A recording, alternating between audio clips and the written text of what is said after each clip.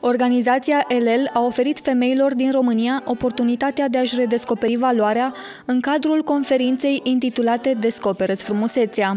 Because if fathers don't understand the crucial role they have in their daughter's life, Pentru că tații nu înțeleg rolul crucial pe care îl au în viețile fetelor they lor. don't they don't then call out that beauty from their daughters.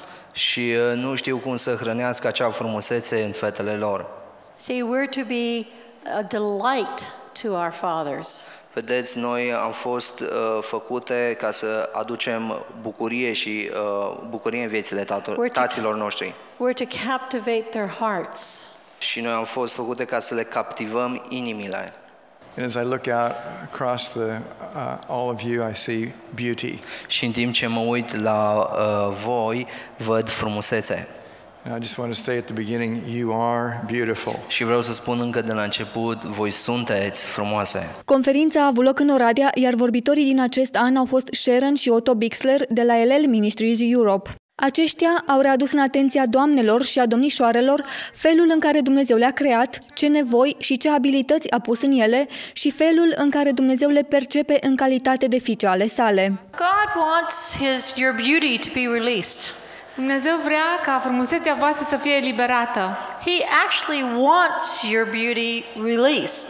El vrea ca frumusețea voastră să fie eliberată.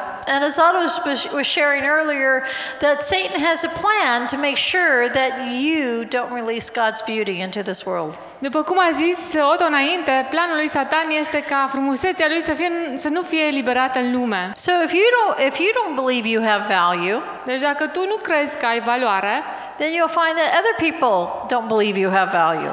atunci vei descoperi că și alți oameni nu vor crede că tu ai valoare. Este o conferință extrem de necesară, deoarece consider că în zilele noastre există multă confuzie referitor la ce înseamnă frumusețe și standardele lumii sunt amestecate. Aceste percepții nici măcar nu sunt bazate pe adevăr. Adesea, ceea ce vedem reprezintă o generație a computerelor care promovează o frumusețe de neatins. Astfel, trebuie să ne întoarcem la Biblie și să vedem care sunt standardele și ce este mai exact frumusețea, cum ar trebui să arate femeile ca să putem reflecta frumusețea lui Dumnezeu. Trebuie să revenim la Biblie, la ce spune Dumnezeu, pentru că lumea este foarte influențată de presiunea anturajului, de mass media, iar aceste lucruri nu vin chiar tocmai de la Dumnezeu. Deci, ar trebui să ne întoarcem la Dumnezeu și asta sperăm să facem în cadrul acestei conferințe. From God. Um, and so we need to get back to God, and, and that's what we hope to do with this conference. This is a big change for a lot of women, particularly those who came from Este o schimbare majoră pentru multe dintre femei, în special pentru participantele care au fost influențate de fostul regim comunist, cărora nu li s-a spus că sunt frumoase, cărora li s-a spus că sunt doar niște muncitoare, că sunt doar niște persoane mediocre care au o datorie față de stat și care acum au descoperit că soții și tații lor au fost influențați în același fel și astfel nu le-a susținut cu adevărat. Dumnezeu aduce această influență în societate, în special în România și în alte țări asemănătoare, și ne transmite că trebuie să susținem femeile și că tații trebuie să le spună că sunt frumoase. God is telling us that women are supposed to be Deci această conferință este despre aceasta, să completeze acolo unde omul nu a reușit să-și facă partea. Dumnezeu devine un tată pentru aceste femei, deci există șansa și speranța că Dumnezeu poate mereu să ajute, iar în cadrul conferinței le conducem la acea acceptare care le schimbă viețile.